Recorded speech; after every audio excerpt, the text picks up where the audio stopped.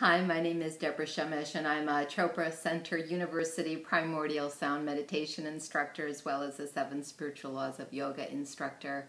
I'm on the Vedic path, but currently I'm healing from my third hip revision and just uh, becoming ambulatory as we speak. Yesterday, when I opened up my email, before meditation, of course, um, I noticed the little CCU invitation as a teacher to share our process of uh, teaching to the masses by submitting a three to five minute video. I was so excited when I opened up the email and I could feel this surge of energy just pulsating through all, each and every cell within my body.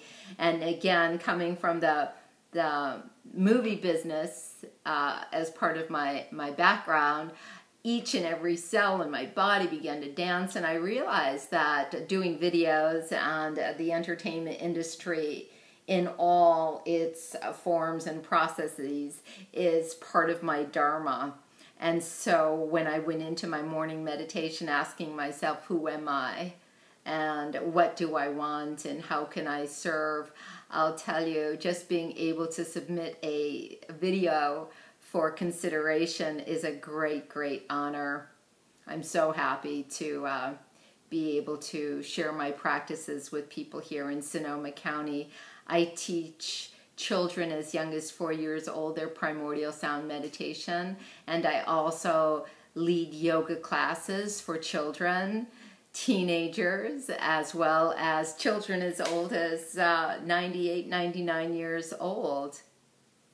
I received my first certification in 2008 as a yoga instructor.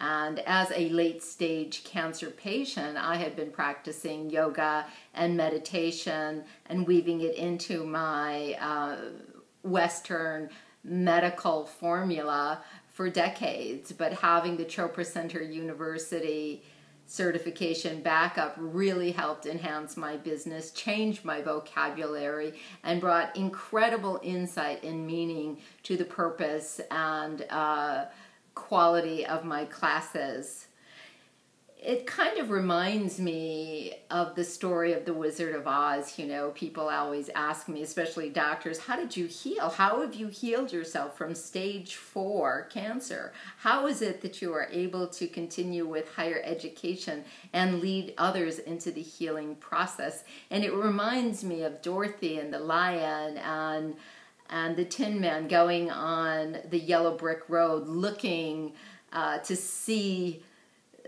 the the wizard as they're on the journey, destiny unknown, of course.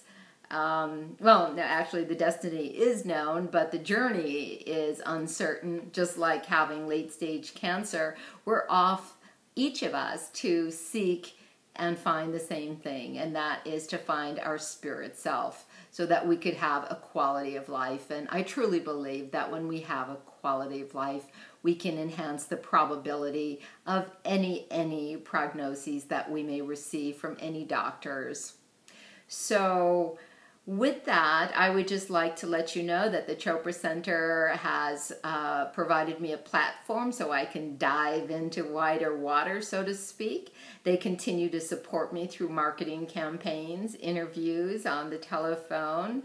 I've been featured in a newsletter and have won one of the most recognized uh, teacher awards. Uh, that was inclusive of over a thousand teachers worldwide. So having that added to my um, lapel of honors really brought me great, great joy and desire to continue on my mission and share my vision with um, more and more people. So, the only thing I would like to leave you with is that um, you too can heal your body. Always remember your prognosis and believe that, but know that you are, as David Simon taught me, more than just the prognoses. You are beyond the prognoses, and no one knows. Only you know. And until we get that answer answered, have a good time in life. Enjoy, be happy and share your many successes as well. Help others to achieve the successes in their own life.